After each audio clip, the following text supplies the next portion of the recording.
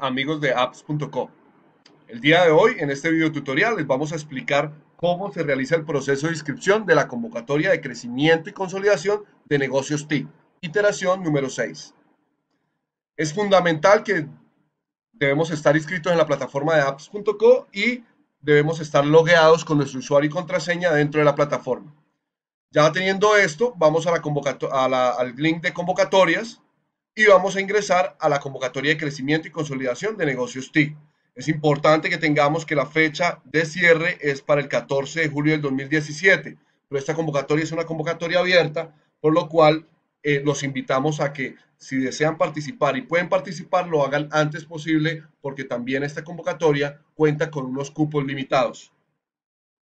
Vamos a darle clic en más información y vamos a leer detenidamente cada uno de estos elementos que tiene la convocatoria y a revisar con mucho detalle los documentos correspondientes a este proceso. Los invitamos a revisar claramente el documento de adenda número 2 y el documento de términos de referencia de manera eh, especial. Vamos a darle clic en ir al registro y vamos a iniciar ya el proceso de aplicación a esta convocatoria. Es importante que recordemos que son seis pasos diferentes y que ojalá tengamos la información a la mano para poder hacer el proceso de diligenciamiento de la manera más rápida y sin ningún percance. Iniciamos con la información personal.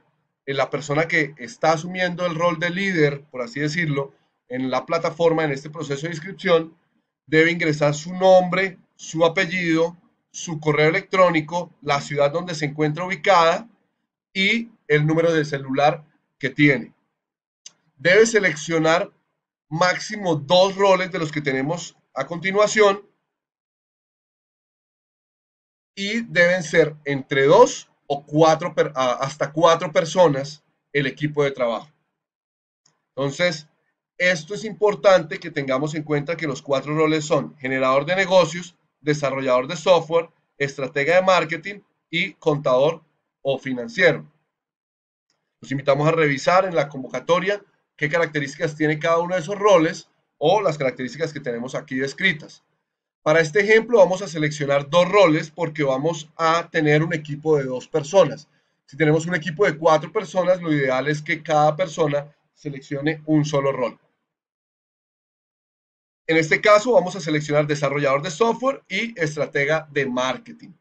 Le damos clic en siguiente y le recordamos que tenemos el botón guardar y salir si no podemos eh, hacer el proceso de, inscripción de manera continua y necesitamos guardar la información, utilizaremos ese botón. Le damos clic en siguiente y vamos al proceso de inscripción. En este proceso debemos diligenciar la información eh, correspondiente al nombre de la empresa que se está inscribiendo, el área en la que esta empresa tiene incidencia. Para el ejemplo vamos a seleccionar entretenimiento. Debemos describir claramente eh, y, con detalle cuál es el segmento de clientes al que nosotros le estamos apostando con la solución que desarrollamos y cuál es ese valor significativo, cuáles son los elementos diferenciadores, características innovadoras que tiene nuestra solución y que se las ofrecemos a nuestro segmento de clientes. La escribimos en este campo de texto y nos eh, disponemos a seleccionar la entidad que nos acompañará. Existen seis entidades como es Cámara de Comercio de Cali, HubBub en Bogotá, Seneca Digital en Bucaramanga, Socialaton en Medellín, Unión Temporal Cesa Connect en Bogotá y Unión Temporal Macondo Pool en Barranquilla. Para el ejemplo vamos a seleccionar Seneca de Bucaramanga y inmediatamente nos aparece la información de contacto. Es importantísimo que si ustedes tienen dudas o preguntas puedan dirigirse a la dirección que está en pantalla o al teléfono que tienen disponible. Ellos les van a ayudar a ustedes en este proceso de inscripción o van a resolver las diferentes dudas o, requerimientos que ustedes tengan para que todo se dé de la mejor manera. Tengamos en cuenta esta nota para las entidades de Macondo, Cámara de Comercio y CESA Conet, para que si ustedes aplican para esas entidades, por favor revisar esa nota. Démosle clic en siguiente y veamos la siguiente parte de la aplicación. Como les mencionaba anteriormente, cada usuario debe tener cuenta activa en apps.co y debemos contar con el número de cédula del equipo de las personas que vamos a integrar a nuestro equipo. esa persona que deseemos integrar debe aceptar la solicitud eh, accediendo ya sea a su correo electrónico o accediendo a la plataforma de apps.com. Como les mencionaba anteriormente, dos usuarios mínimo debe estar conformado el equipo y máximo hasta cuatro usuarios. Y deben cumplir los roles que ya indicamos, generador de negocios, desarrollador de software, estratega de marketing y contador o financiero. Aquí nos indica cuáles roles ya hemos seleccionado y han sido validados y cuáles roles tenemos pendientes por seleccionar. Vamos entonces a ingresar esos roles. Lo primero que tenemos que hacer es ingresar la cédula de esa persona que vamos a añadirla y debemos seleccionar los roles que tenemos pendiente. Para este caso, contador y financiero y adicional, vamos a seleccionar generador de negocios. Vamos a darle en la cruz azul o cruz blanca de fondo azul para poder enviar la solicitud o la invitación a ese usuario y que él la debe aceptar, ya sea por correo electrónico o accediendo a la página. Al acceder a la página, el usuario, estamos aquí ya logueados con el usuario al que le hicimos la solicitud, nos vamos al link de notificaciones y nos damos cuenta que aparece una notificación en la que te han invitado a participar a la convocatoria de crecimiento y consolidación. Le vamos a dar clic en aceptar para que esa solicitud sea aceptada de manera satisfactoria. Nos devolvemos al proceso de inscripción viendo que nos devuelve una, un mensaje de, respuesta que ya está en el equipo del usuario y vamos a refrescar la página para que nos actualice que ya no tenemos pendientes esos roles, sino por el contrario, ya nos han validado todo el equipo de trabajo. Vamos a darle siguiente y vamos a diligenciar la información de productos como está en los términos de la convocatoria, los productos deben ser productos que estén disponibles y de acceso a través de una URL, una tienda de aplicaciones o que se encuentren instalados en una máquina local. Debemos facilitar si aplica un usuario y una contraseña de prueba para poder validar los evaluadores que el producto cuenta con las características que se plantean en los términos de referencia.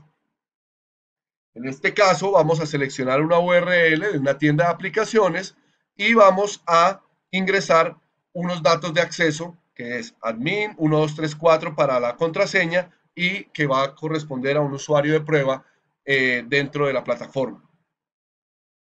El producto en uso corresponde al indicador de crecimiento que tiene su producto, es decir, esa forma con la que valida que el producto se está usando cada vez más y que tiene un impacto en sus clientes porque les está entregando valor. Por ejemplo, si somos una empresa que le vende a otras empresas una solución de inteligencia de negocios, corresponderá a las veces que esas empresas usan la, la, solución de inteligencia de negocios a través de su sitio web o de aplicación móvil que tengan. Si ustedes son una empresa que le venden a los usuarios del común cursos relacionados a las pruebas saber, cada vez que un usuario de esos entra a, a, ese curso de, de, de pruebas saber y realiza o toma una clase, eso va a ser el indicador de uso del producto. Entonces es importante que cada uno de ustedes pueda identificar ese indicador de uso relacionado al crecimiento del desempeño de su empresa y puedan diligenciarlo.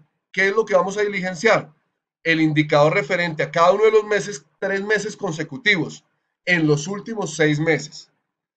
Para este ejemplo vamos a seleccionar el mes de enero, el mes de febrero y el mes de marzo.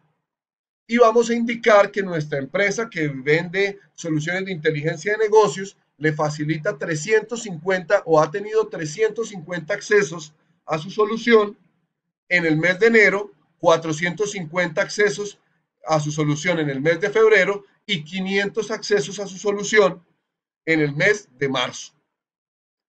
Como nuestra empresa vende a otras empresas, nuestro tipo de producto corresponde a business to business. ¿Qué significa esto?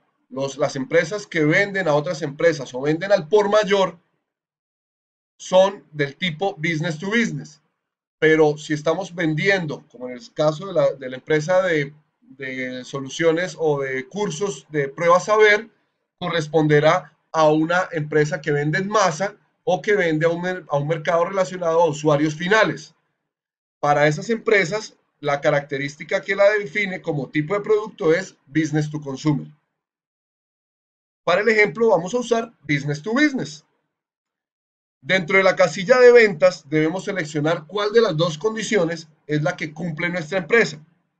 En este caso existe la condición que es crecimiento en tres meses consecutivos de los últimos seis meses con unas ventas superiores a cinco salarios mínimos en cada uno de los tres meses, con clientes empresas, clientes corporativos correspondientes a su segmento de clientes.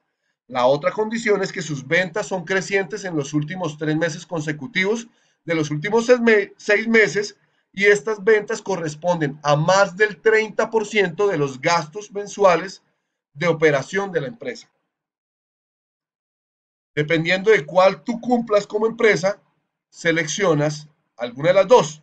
Para el ejemplo, vamos a seleccionar que somos crecientes en, en ventas con ventas superiores a cinco salarios mínimos y diligenciamos esas ventas a continuación. El producto es vendible eh, en los últimos tres, en los tres meses consecutivos de los seis meses y tiene las ventas superiores a cinco salarios mínimos, es correcto. En enero tuvimos unas ventas de 4.250.000 para este ejemplo.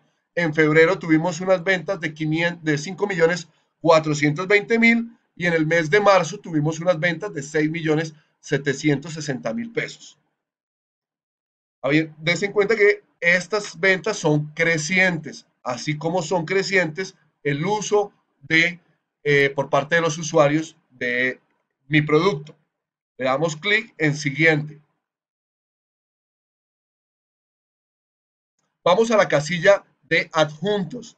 Esta información está dentro de los términos de referencia y debe ser entregada a través de un link de una de las plataformas de almacenamiento en la nube que hay. Llámese Dropbox, Google Drive, OneDrive, de un servidor propio o cualquier herramienta disponible que ustedes tengan es importantísimo y vamos a recalcar mucho en esto de que ese link que nos compartan o esa URL que nos compartan debe ser de acceso público. Si no es así, los evaluadores no podrán validar la información que ustedes comparten y su solicitud a la convocatoria será inmediatamente rechazada. Entonces, por favor, los invitamos a validar que su link haya quedado público. Exigimos que la organización sea lo más cercana a la que entregamos acá, es decir, ocho carpetas con cada uno de los con cada uno de los requisitos que mencionamos en este apartado. Ingresamos el link, en este caso un link de Dropbox, y le damos clic en siguiente. Estamos muy cerca de finalizar el proceso. Entonces necesitamos revisar que toda la información que hemos diligenciado es la correcta.